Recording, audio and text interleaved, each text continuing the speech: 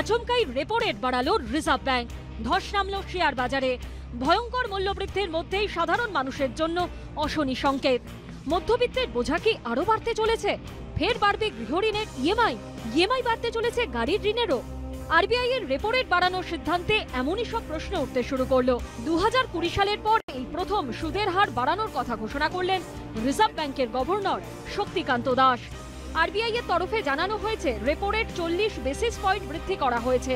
এর ফলে repo rate বেড়ে হলো চার দশমিক চার শূন্য শতাংশ। আরবিআই এর দাবি লাগাতার বেড়ে চলা মূল্যবৃদ্ধির উপর হ্রাস টানতেই এই সিদ্ধান্ত নেওয়া হয়েছে।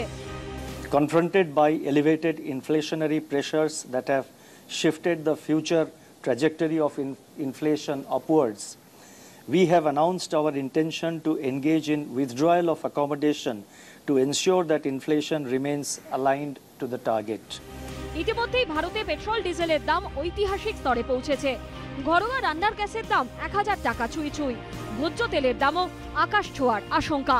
নিত্য প্রয়োজনীয় প্রতিটি জিনিসের ভয়ঙ্কর দাম বেড়েছে।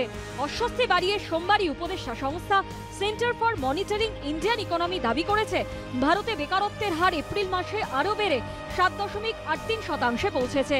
আগের মাসে যা ছিল সাত দশমিক ছয় শূন্য শতাংশ।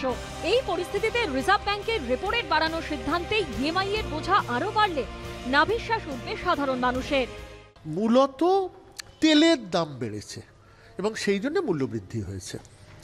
এই মূল্যবৃদ্ধির সঙ্গে সঙ্গে কর্মসংস্থানও কিন্তু কমেছে, উৎপাদন কমেছে। এখন এই অবস্থায় যদি রেপো রেট বাড়ানো হয়, তাহলে চাহিদা তো কমবেই। তাতে হয়তো মূল্যবৃদ্ধি একটু কমবে, কিন্তু কর্মসংস্থান আরও কমে যাবে। যারা অলরেডি কন্ট্রাক্ট করেছেন পুরনো একটা চলতি সুদের হারে। তাদের ক্ষেত্রে এটা সমস্যা নয় কিন্তু যারা নতুন করে কিনতে যাবেন তাদের ক্ষেত্রে একটা ডিমান্ড এফেক্ট হওয়ার কথা। অর্থাৎ চাহিদার উপর একটা ইম্প্যাক্ট পড়বে কারণ অনেকেই কত সুদ দিতে হবে কত ইএমআই দিতে হবে এটা ভেবে তো গাড়ি বাড়ি ঋণ নেন। ফলে সেখানে একটা ধাক্কা খাওয়ার সম্ভাবনা।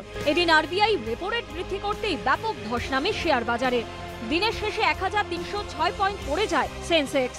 নিফটি নামে তিনশো একানব্বই দশমিক পাঁচ পয়েন্ট যে বিষয়গুলির সঙ্গে মানুষের বেঁচে থাকা, বেঁচে থাকার অধিকার, রুটি রুজি তার সম্পর্ক নেই, সেই দিকে ওনারা নজরটা ঘোরাতে চাইছেন, আর সাধারণ মানুষকে অর্থনীতি দিয়ে পিষে মারার খেলা খেলছে এই বিজেপি।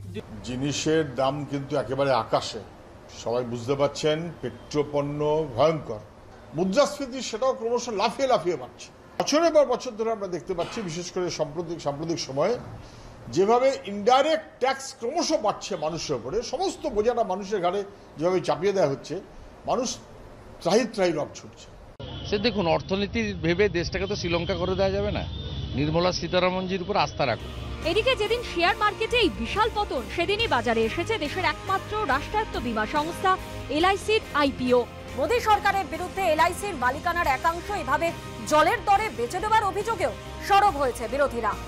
কংগ্রেস প্রশ্ন তুলেছে, যখন দেশের আর্থিক বাজার টালমাটাল, তখনই কেন মোদী সরকার এলআইসির বিলগ্নীকরণ করতে চাইছে?